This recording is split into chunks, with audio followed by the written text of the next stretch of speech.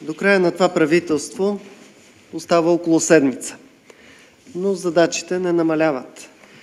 Тази седмица Министерския съвет ще заседава два пъти, в понеделник и в сряда, както поехме ангажимент, за да свършим максимален брой задачи и да осигурим плавен преход към работата на служебното правителство. Днес ще разгледаме 20 точки в дневния ред на Министерския съвет и ще изброя само няколко от важните решения, които ще вземем.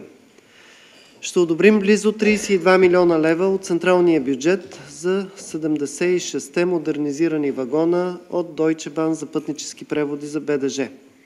След години чакане, с подмяната на подвижния състав, държавата ще осигури по-комфортно, по-безопасно пътуване с предвидим график без закъснения. Промяната ще усетят всички пътници в тези влакове.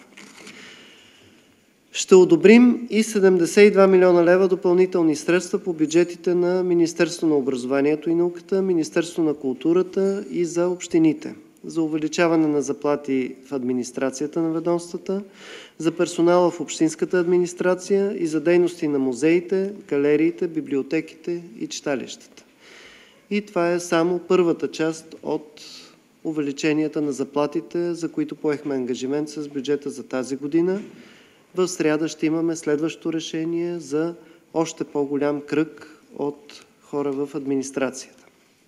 Трето, ще вземем решение за отпускане на 15 милиона лева от бюджета на Министерството на здравеопазването за скрининг на заболявания, свързани с детското здраве и репродуктивното здраве на жените.